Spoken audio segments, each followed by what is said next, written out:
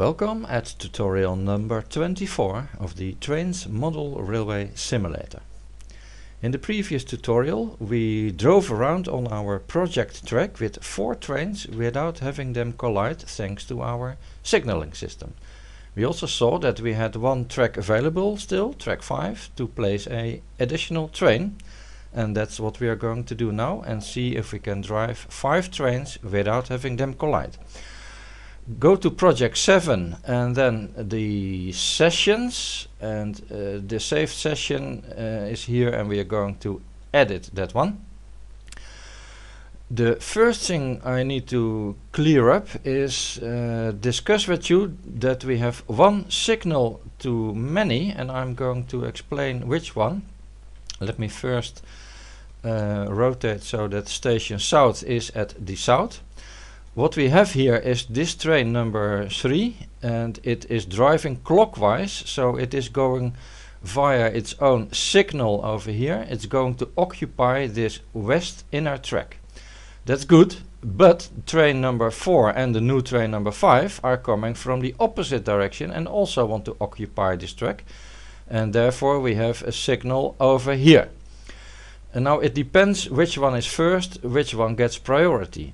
But that only works if there are no signals in the middle of that track. And unfortunately, I made a little mistake by placing a signal, this one, this signal over here, that was to guard this uh, junction, but that is now in the middle of a two-way track with two-way traffic and that can, can give rise to problems. So what we are going to do is simply delete this signal. So I click the, the signal icon, the, the middle icon here, the delete icon, and now click this one.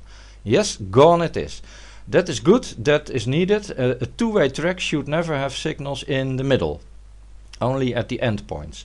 Okay, what we are going to do now is add train number 5. As you see, I already did. Uh, so let's not uh, take any time away. You just add a locomotive and add a few wagons. And then, of course, we still have to prepare and go over here to the session manager. We have to go to the driver setup and then edit. And then there are still only four trains in that. So what you need to do is add another driver, select a name from the list, and then assign a train to it. There is a button somewhere over here to assign a train, and there is your new locomotive. And then you place over here all the instructions that are mentioned in the uh, text that goes with this video. So have a look over there and copy those instructions into here. If you have done that, then you have exactly the same situation as I have here. And you can uh, exit the surveyor. Of course, you save your new situation. I don't, uh, oh yeah, I do that too because I deleted my signal. Yes, uh, so I have now a new uh, session and I'm going to drive that session. Well, let's without further ado just simply start up all our trains. Over here all the drivers available. Let's first start train number 4. Take away the 30 minute delay. There it goes. Then the new train number 5. Uh, yes, there it goes and I also start all the other trains. Let's just get them on the move.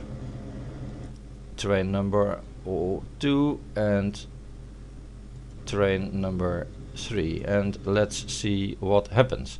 I will take a stance somewhere with the free roaming camera so we can look around a bit and just enjoy the view and I will try to explain a little bit what is happening uh, while we are watching. Alright, so we see here train number 4 is already at station north 4 and our new train number 5 is at the same time more or less entering station north 5. In the meantime, our passenger train on track 3 is now occupying the west uh, two-way track where we just removed the signal these both are already on the way and now obviously this train number 4 has to wait over here until that track is cleared. Well that is cleared just in time so actually it could move on if if it has switched all its necessary switches. Yes, it is moving on as you can see. Our train number 5 is now waiting. Uh, it wants to go on the same track, but that track is occupied, so it has to wait, and it neatly does. Okay, over here we get a uh, similar situation with one track uh, and two trains. The passenger train is first, so the um, the freight train number one has to wait. Well, first it is going to wait for 10 seconds at its own north one stop so uh, probably our passenger train has already cleared the track and this freight train on track 1 can just go on.